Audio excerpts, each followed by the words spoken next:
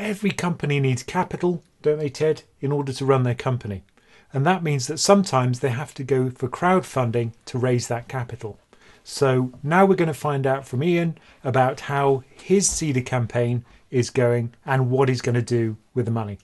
Now, I understand that congratulations are in order because uh, you've just secured uh, funding in a ridic- ridiculously short period of time, right? Yeah. So, how long did it take to actually raise the uh, the capital that you were looking for, and how much was it?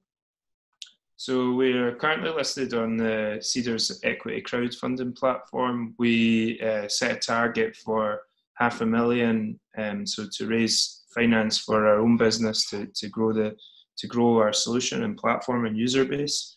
And we we hit our target within two days. So we were just amazed at the response. We have a very active user base of investors we have a great community who you know following us for the last couple of years and uh, have, have invested in the business. So we're, we're very thankful for all the support and uh, yeah, it's great. It's great validation that uh, people believe what we believe. So we're uh, we're we're absolutely thrilled with that.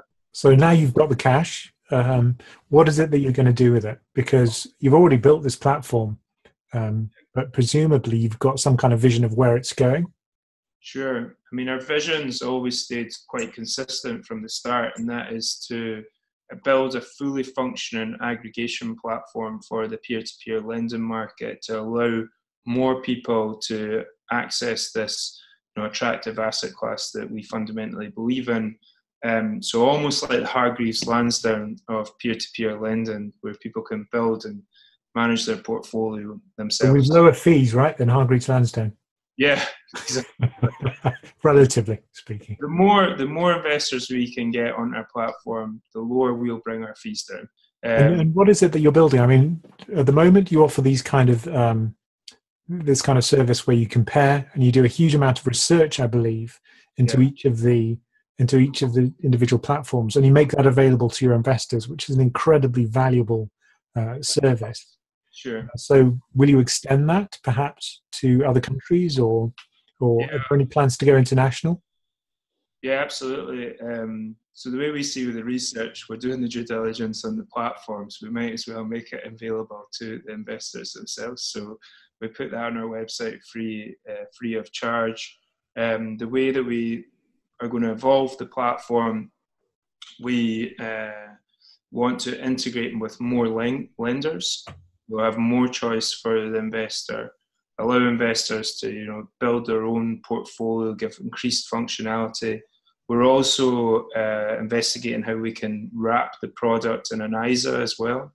So that is a big focus for us at the moment. And essentially, with the innovative finance ISA, which was designed really for peer-to-peer lending or you know debt-based securities, um, one of the issues is that you can only hold one ISA, one type of ISA uh, in, a, in a given tax year, and that ties the investor to specific peer-to-peer platforms.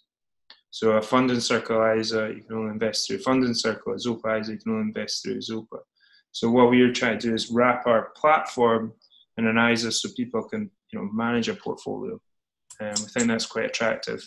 So that's where we're hoping to hoping to go with the, the platform in the UK and US. Um, interestingly, yeah, we're seeing a lot of um, appetite from European investors. So European investors investing in peer-to-peer uh, assets in the UK.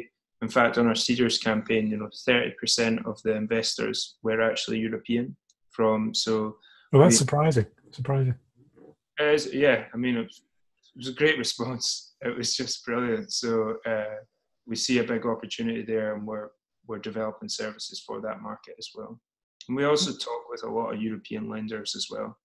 So can we offer European lenders onto the UK, uh, onto UK investors? Well, that would be interesting because that would provide more diversification, I bet. And uh, final question: Do you think there'll ever be something like an exchange-traded fund which contains um, peer-to-peer inside it? Would it be packaged that way? So it can be traded on exchange in a liquid form? So there are a number of investment trusts that um, hold peer-to-peer assets inside them. So P2P global investments and even Funding Circle, uh, SME Income Fund. So there's a number of investment trusts, but they're more traditional kind of vehicles that have the fees kind of attached to them. So would you have an ETF uh, with peer-to-peer assets? Honestly, I'm not sure. I think we would need to speak to somebody at Morgan Stanley or somebody who's building ETFs. I'm sure they would love to speak to you. Yeah. Well, I know some people. Just uh, just call me, mate. Right. Okay. Good stuff. Yeah. uh, no, it's a it's a great idea. It's a great idea. The only thing that we would say with that is you lose the benefit of non-correlation to the market. So if you take P2P Global Investments, for example, you know, it's performing at quite a substantial discount to NAV at the moment, whereas the underlying assets, you know, they're not sitting on the market, shouldn't be really affected, you know, we would say by that kind of that kind of behavior. It just adds another element for the investor to understand. And dare I say it, will artificial intelligence ever be involved in uh, peer-to-peer lending? So, for example, could it winnow out the bad loans maybe the bad platforms, and also combine the combine the um, individual platforms in a more optimal way.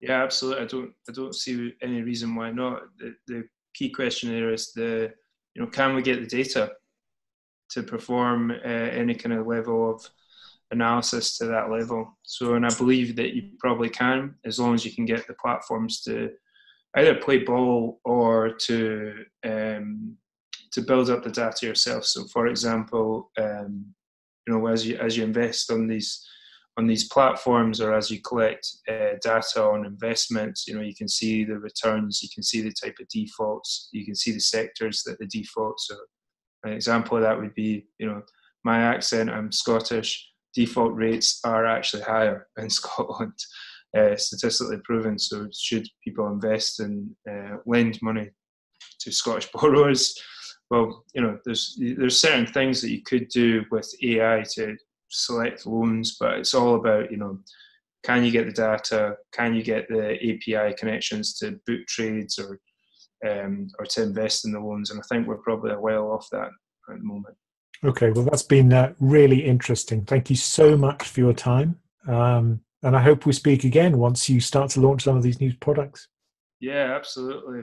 More, I would love to come back and uh, always keen to talk about peer-to-peer lending. So love to be invited back. So raising half a million in two days shows that a lot of people believe in the Orca platform and they're willing to put their money where their mouth is. And hopefully we'll see some of those new developments soon.